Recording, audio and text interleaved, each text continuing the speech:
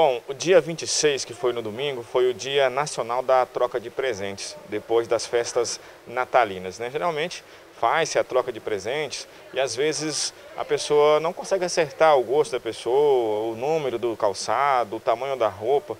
E no dia 26 acontece essas trocas de presente. A gente vai conversar com a Mariana Moraes, que vai falar um pouco mais sobre essa situação aqui na loja. No dia 26 foi no domingo, mas hoje, segunda-feira 27, é o dia praticamente que será para troca de presentes. Exatamente, né? Sempre assim, pós-Natal, pós-festa, né? Sempre tem muita troca de presente. E nós sempre, sempre assim, estamos trocando é, para agradar a todos, né? Porque assim, também é um direito do consumidor, a gente sabe. É, estando com a etiqueta ou cupom fiscal, a gente faz a troca, porque eu acho assim muito justo, né? Às vezes assim, a gente não tem como ficar com uma coisa que a gente não vai usar. E também porque é um presente, a gente quer usar mesmo, quer guardar, às vezes não dá pra gente poder vestir o que a gente ganhou, a gente acaba fazendo uma troca. Por exemplo, se a pessoa ganhou uma peça de roupa e ela estiver suja, aí como é que, o que vai acontecer? Ela vai trocar si mesmo, mesmo que esteja com etiqueta? Aí a gente já não consegue efetuar a troca, porque a troca do produto ela tem que ser feita né, com um produto em perfeito estado, sem vício e com a etiqueta da loja ou o cupomzinho fiscal.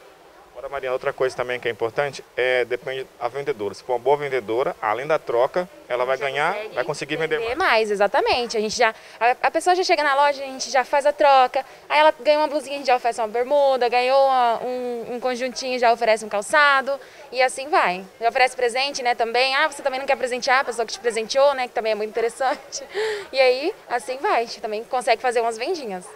Para hoje, então, dia 27, praticamente será o dia das trocas. Exatamente. Sempre assim, primeiro dia pós-festa, é, pós, assim, dia dos pais, após dia das mães, é, Natal, sempre tem troca. E também essa semana a gente tem que levar em consideração que ainda vem o Ano Novo, né? Ainda vão ter festas, então as pessoas já vêm fazer a troca, já pensando, né, em pegar alguma coisa para a virada de ano, né?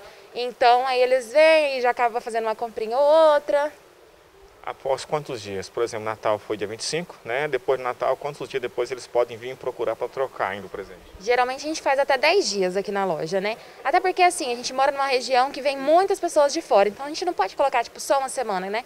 A gente coloca, estende um pouquinho mais. Algumas lojas eu sei que faz até 7 e a gente faz até 10 porque justamente vem gente de outras cidades para cá, então a gente tem que dar esse prazo um pouco maior.